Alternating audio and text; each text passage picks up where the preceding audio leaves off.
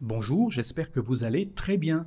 In this uh, second lesson, so part two, about how to ask questions in French with FrenchSpanishOnline.com and myself, we are going to see and keep it with the yes-no question. But this time we are going to speak about the inversion, so the second part, inversion.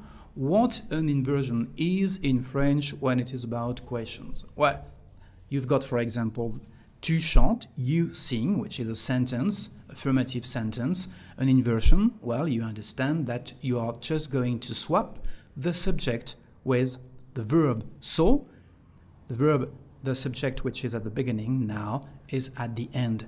And if you don't forget the question mark and the hyphen here, you've got your question. Okay? You just put the subject at the end and we've got we inversion question, yes, no question, chantes-tu? And chantes-tu, the meaning is the same as est-ce que tu chantes, as we saw in the first lesson. Do you think? Let's see now inversion present tense. So now you know this example, chantes-tu? Let's see the second one. Chante-t-il? Does he sing? Here, as you can see, there is something special. Actually, we add a T. This T has nothing to do with grammar it's just to improve the pronunciation when you speak. And because we say it when you speak, we also write it. That's why when you've got here a subject and a verb with two vowels, here the letter E and here the letter I, you need the letter T before to better the pronunciation and say chante-t-il, does sing? Okay? And it's a rule.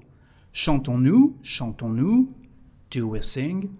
Let's see more yes no questions in English. Have you got brothers? As-tu des frères? As you can see, the inversion is just between the verb and the subject. We don't touch the rest of the sentence. As-tu des frères? Are you singing? Chantes-tu?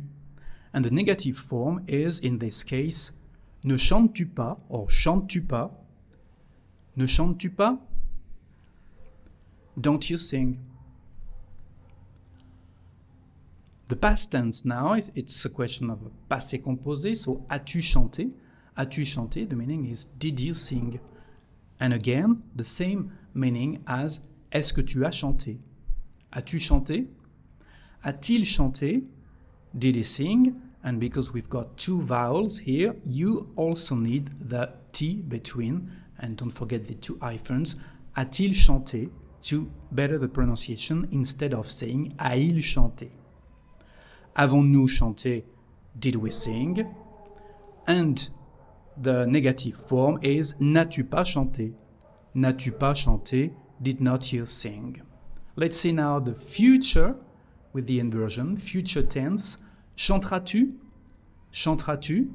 Will you sing? Again, our T for chantera-t-elle? Will she sing? Chantera-t-elle? And chanterons-nous? Will we sing? Chanterons-nous? The negative form is ne, chante, ne chanteras-tu pas? Ne chanteras-tu pas? Won't you sing? Okay, so there is no special difficulty in this lesson. You understand easily what an inversion is.